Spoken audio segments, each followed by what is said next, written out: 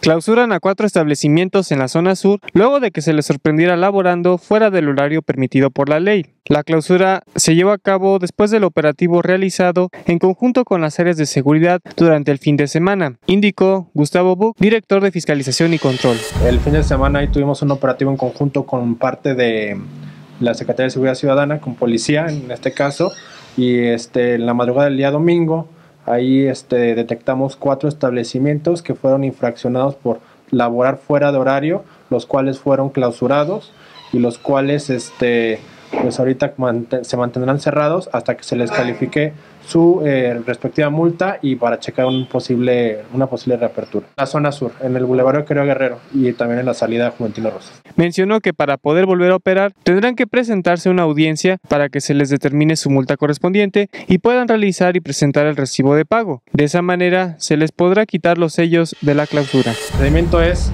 tienen fijada su fecha de audiencia, viene, se les califica la multa, eh, la pagan y después posterior al pago viene lo traen, este, nos enseñan el que se realizó el pago y entonces se hace el retiro de sellos. Para el sistema de noticias de TV Guanajuato con imágenes de Víctor García informó Marcos Arellano.